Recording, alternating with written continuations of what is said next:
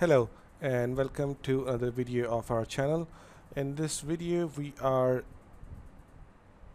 covering how we can fix Macrium Reflect clone failed error. Macrium Reflect is a disk imaging and backup software for Microsoft Windows which creates back backups and images using the service Microsoft Volume Shadow Copy service. It backups and replicates or clones entire partitions to another storage drive with a click of a button. The error message Macrium reflect clone failed is a very common error which occurs particularly when you are cloning your hard disk drive to an solid state drive. The reason for this error message are very diverse and range from antivirus issues to bad sectors in the drive. So let's first look at what can cause the error of Macrium Reflect clone failed. Like I mentioned before, this error message can happen due to a number of different reasons. Some of them are on your screen right now. The first is the connection between the drive and the computer is not proper. A bad connecting cable can disrupt your process of cloning the storage device. Second, the storage device has bad sectors. The software usually returns an error message when it encounters bad sectors while cloning.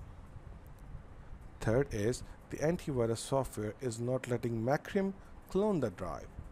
This is a very common practice for antivirus software to block any attempt to access the drive for a prolonged period of time. So how we can fix the Macrium Reflect clone failed error? Users facing this issue report that they get a variety of error messages such as access denied or unable to match partitions. The error message is usually also accompanied by an error digit says error 9, error 0, etc. In rare cases, if the permissions are not set correctly, you might experience the message read failed 13, permission denied 32, or write failed 22, invalid argument. The solution we are going to show you now target all these issues. Make sure that you have an active internet connection and are logged in as an administrator. First of all, let's check the disk for bad sectors. A bad sector is a sector in a storage device which is inaccessible by any software because of permanent damage. Bad sectors are present in storage device all the time. To counter this, the operating system flags these sectors so it can skip them in normal operation. If you have any bad sectors, you should run the check disk utility to make sure they don't disrupt the cloning process. To do this, let's press Windows and R key, type CMD or command prompt, and hit enter. Or right click on the start menu and run Windows PowerShell admin. Or you can type in the search command prompt and when you see the results right click on command prompt and click on run as administrator. Click yes when you are prompted with user account control window. Once you are landed in command prompt type chk dsk space forward slash and R and hit enter.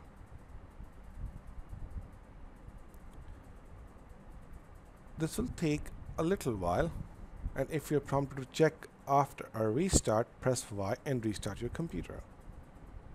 On the restart, check disk will already be scheduled by operating system. A scan will be done. Be patient and let the process complete. After the utility has scanned and removed bad sectors from normal access, try cloning the storage device again.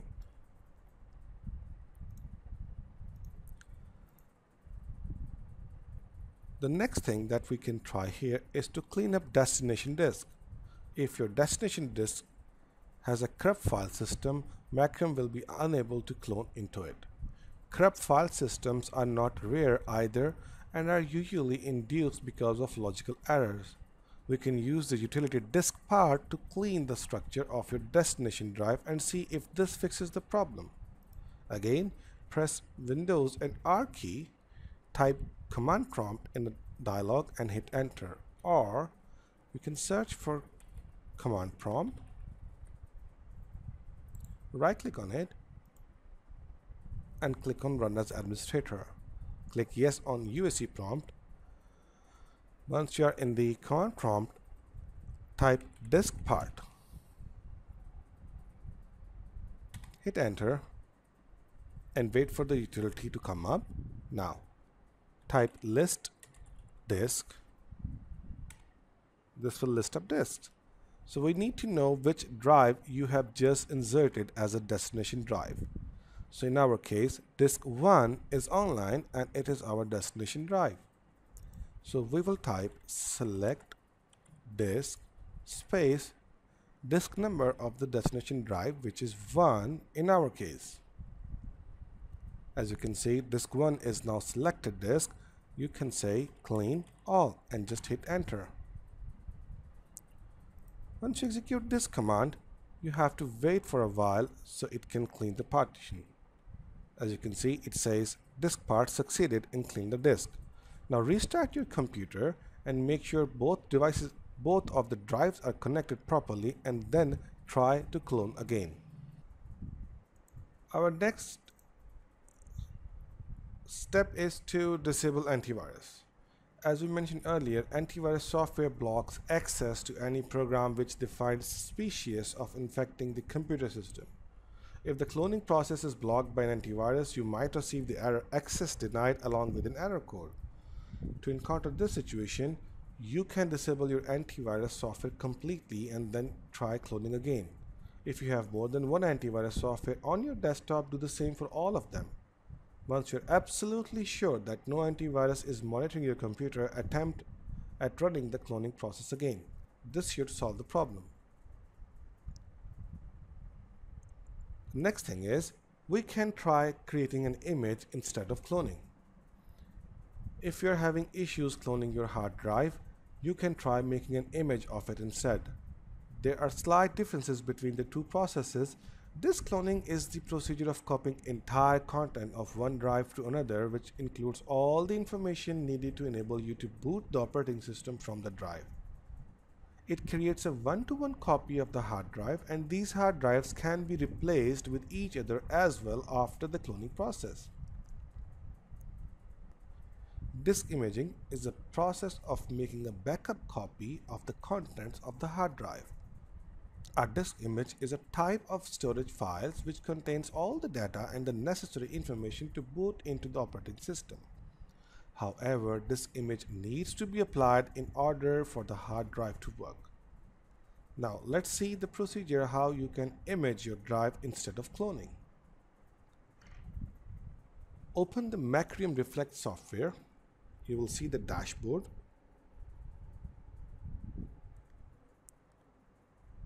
Select the drive which you want to make image of. And then click on image this disk.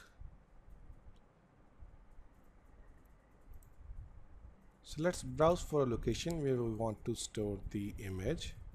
I'm going to put it in a shared folder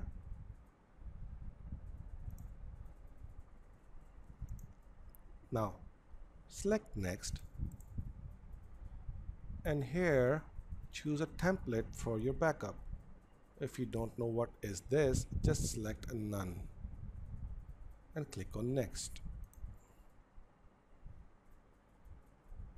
Once you click on finish it will start creating the image. Wait patiently for the process to finish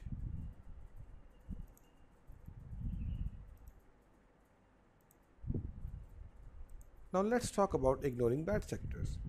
If you get the same error message when creating an image, you can try ignoring the bad sectors when the image is being created. Usually by the solution, all the bad sectors are removed from the logical storage, but if there are some problematic ones which are still causing trouble, this can solve the issue. Open the Macrium software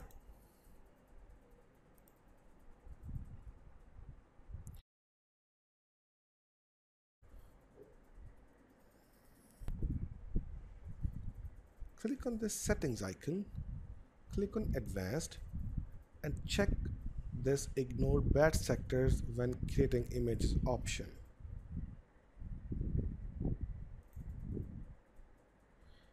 Once you do this, click on OK and save changes and now you can try to create an image.